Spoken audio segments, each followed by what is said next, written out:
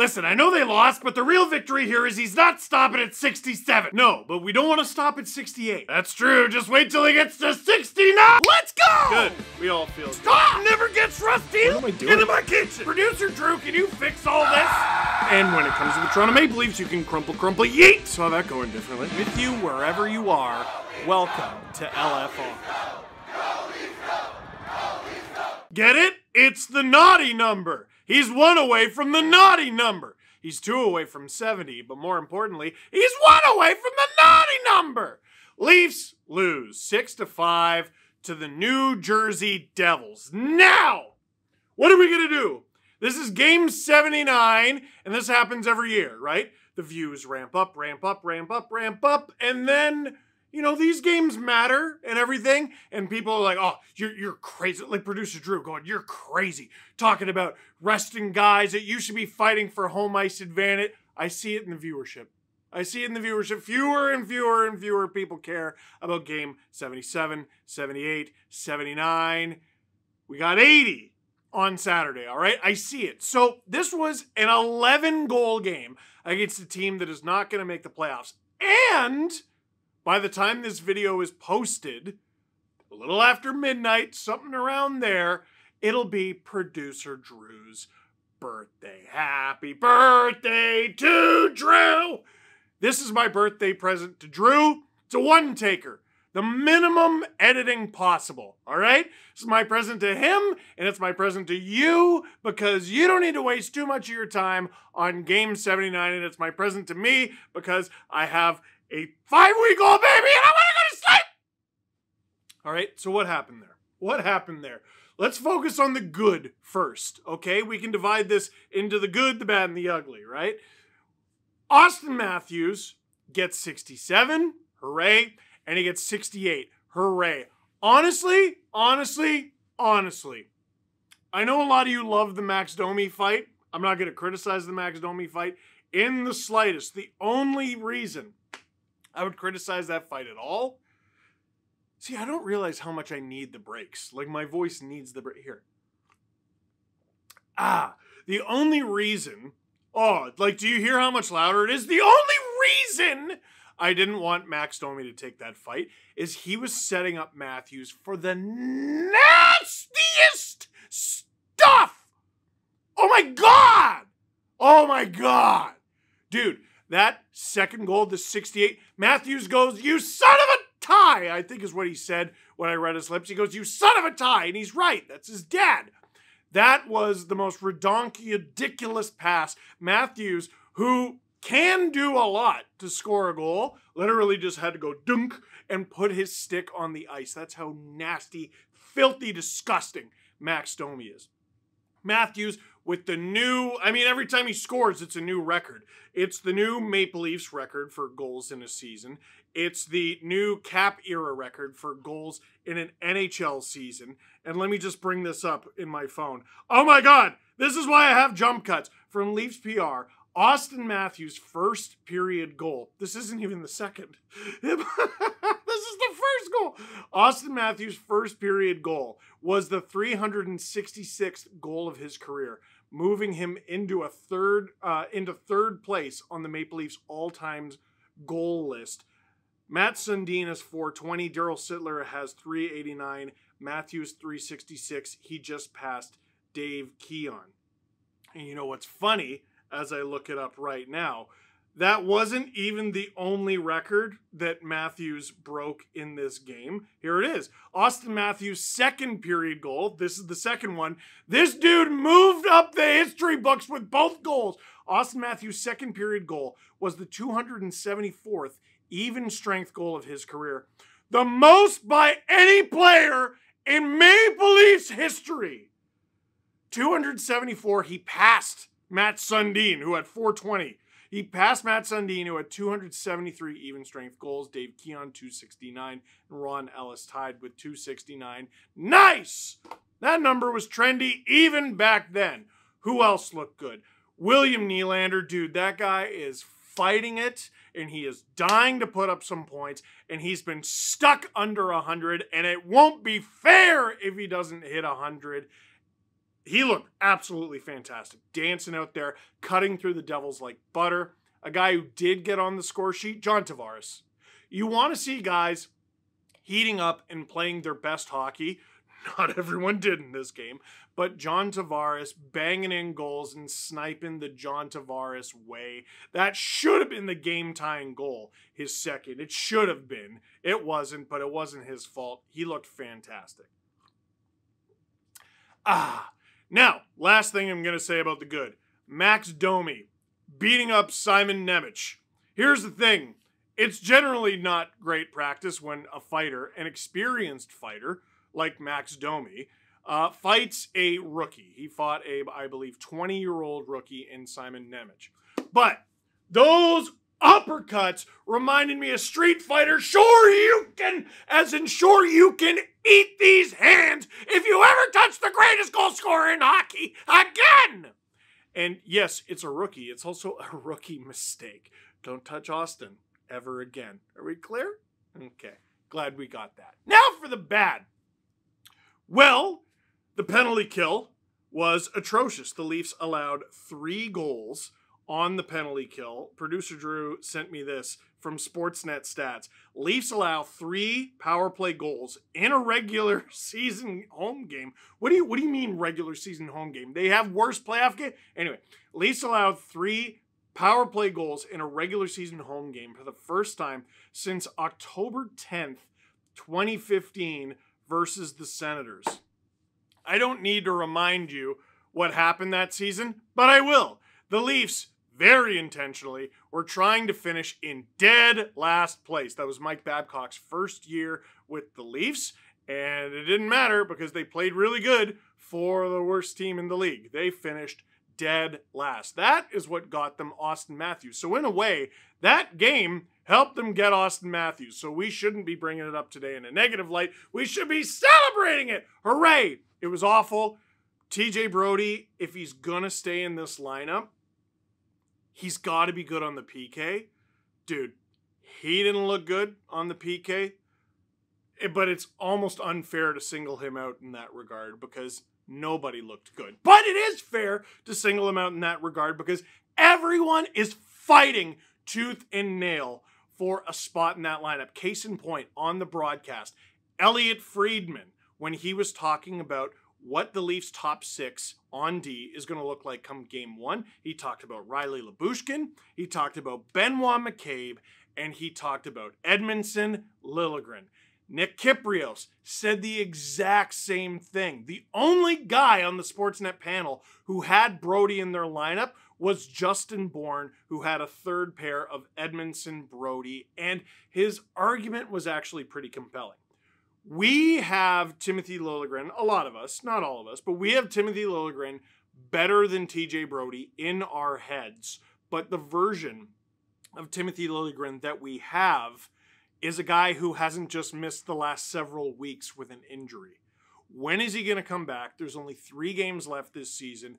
How well is he going to play in those three games? Is that going to be enough time to show the Leafs, yes, you unequivocally deserve to start the playoffs over a veteran like Brodie, That is going to be an extremely tough conversation. That being said, TJ Brodie had what I'm pretty sure was the worst giveaway of the season. Leafs score this amazing goal 19 seconds in, hooray, and then just tape to tape with the New Jersey Devils. And Mark Giordano, he's a leader, right? He's a leader. We, I've been singing Brodie's praises lately, and I've been singing Giordano's praises lately. They both deserved it, but Giordano, seeing his teammate down, he saw Brodie down, and he's like, you know what? That was the worst giveaway we've had all season. I'm to top it. And then he did. Dude, those were both giveaway of the season candidates for the Toronto Maple Leafs, and they happened in the same game, and it was brutal. So the Devils scored six, chalked two of them up to that. Steve, are you seriously about to let Ilya Samsonov off the hook? Nope. Nope.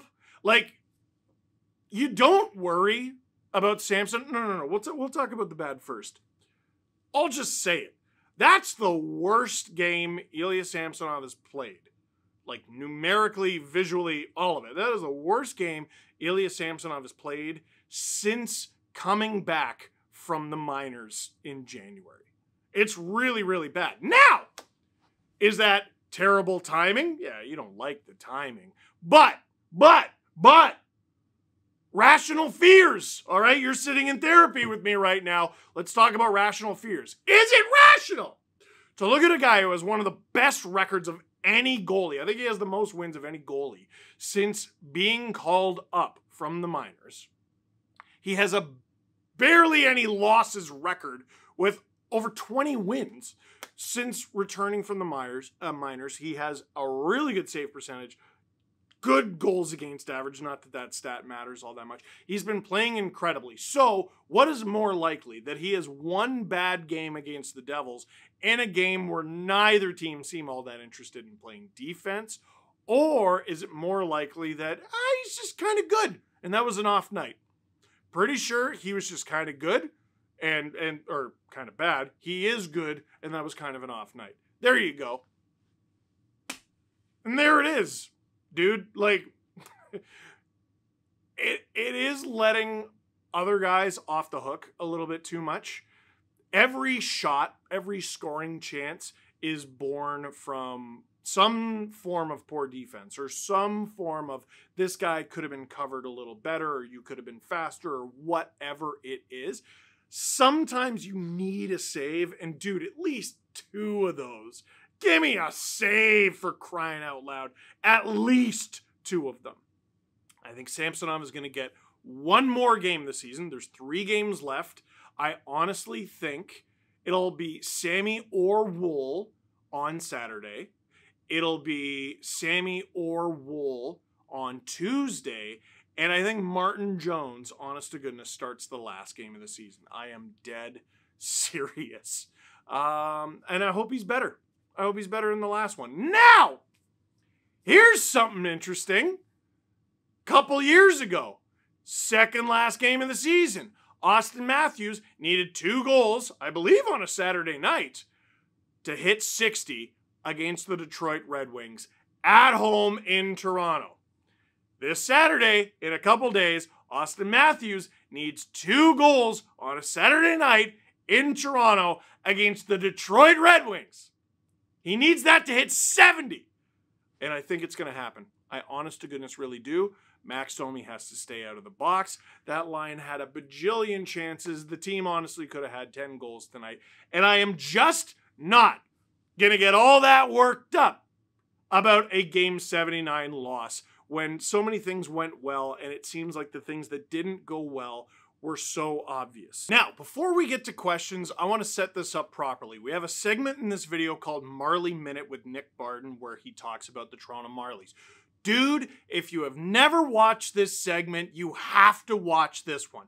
What if I told you? What if I told you the Toronto Maple Leafs have an 18-year-old defenseman in their system who is six foot four, 200 pounds, and just put up 56 points in the WHL?